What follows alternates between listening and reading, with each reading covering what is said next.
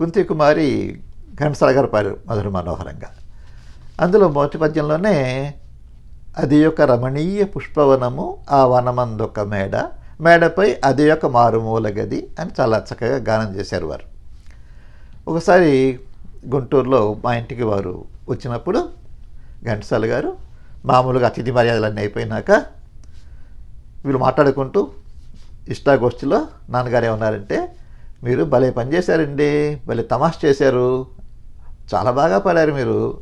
అదేమిటండి తమాషా చేయటం ఏంటి? నేను మీరు చక్కగా రాశారు నేను దానికి తగ్గట్టుగా బాణీలు కుదిర్చి పాడాను. అంతకుమించి నేను మార్పు ఏం చేయలేదే అన్నారు. కాదు కాదులేండి ఒక మార్పు చేశారు ఒక తమాషా చేశారులేండి మీరు. మీకు తెలియదు అన్నారు నాన్నగారు.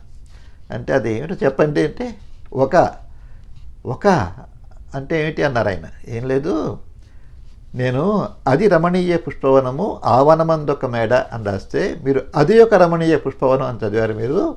అలా గానం చేశారు మీరు. అట్- రాస్తే ఏమైంది? బాగానే ఉంది కదా ఒక అంటే అన్నారు ఆయన. కాదు ఛందస్సు పోతుందండి అది చెంపకమాల వృత్తం అది. అట్లా అంటే ఈ కరుణశ్రీ గారికి ఛందస్సు తప్పారు ఇక్కడ అని చెప్పి అంటారు. అందువల్ల నాకు ముందు పేరు వస్తుందండి అట్లాగా. అట్లాగా నేను గమనించలేదండి. మీరు ఒక మేడ ఉంది అని చెప్పని అన్నారు కాబట్టి అదే ఒక రమణీయ పుష్పవనం ఆవనమంది ఒక మేడ మేడపై అదే ఒక మారుమూల గది. అట్లా మూడు చోట్ల ముచ్చటగా ఒక ఉంటే బాగుంటుందని చెప్పని అట్లా అది ఒక అని స్టార్ట్ చేశానండి అని చెప్పారు ఆయన. అంటే పర్వాలేదండి ఇది పెద్ద పెద్ద వాళ్ళకే తెలియదు మీ గాన ప్రవాహం అటువంటిది మీ గాన మాధుర్యం అలాంటిది అందువల్ల ఎవరికి అందులో తప్పు గ్రహించలేరు ఎవరు కూడా ఆయన నాన్నగారు నవ్వారు అట్లా ఇద్దరు నవ్వుకున్నారు. అలాగే జగ్గయ్య గారు కళావాచస్పతి నాన్నగారి విద్యార్థి ఏసీ కాలేజీలో. ఆయన ఇంటికి ఒకసారి మేము భోజనానికి వెళ్ళాల్సి వచ్చిందనమాట మెడ్రాస్లో ఘంటసాల వారి స్మారక సభ జరిపినప్పుడు నాన్నగారితో నేను కూడా వెళ్ళాను.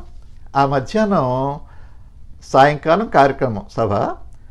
జగ్గయ్య గారు అధ్యక్షులు నాన్నగారు స్పీకర్ అనమాట ఆ మధ్యాహ్నం జగ్గయ్య గారు భోజనానికి పిలిచారు మమ్మల్ని. అప్పుడు విజయ్ కుమార్ ఘంటసాల గారి అబ్బాయి మమ్మల్ని తీసుకెళ్ళి వాళ్ళ ఇంట్లో దింపాడు.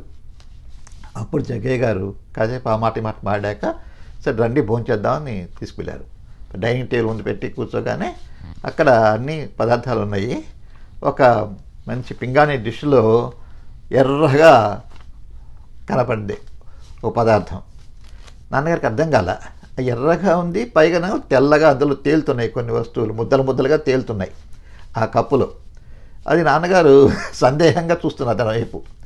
అప్పుడు జగ్గయ్య గారు వెంబడే నాన్నగారి మనసులో ఉన్న అభిప్రాయం గ్రహించి మేస్టరు అది మీరేదో అనుకోవకండి. అదేం కాదు అది క్యాలీఫ్లవర్ ఆవకాయ మా ఆవిడ పెట్టింది. ఆ క్యాలీఫ్లవర్ ముక్కలు పైన తేలుతున్నాయి. అది తప్ప ఇంకేం కాదు అన్నారనమాట అలా ఇద్దరు నవ్వుకున్నారు.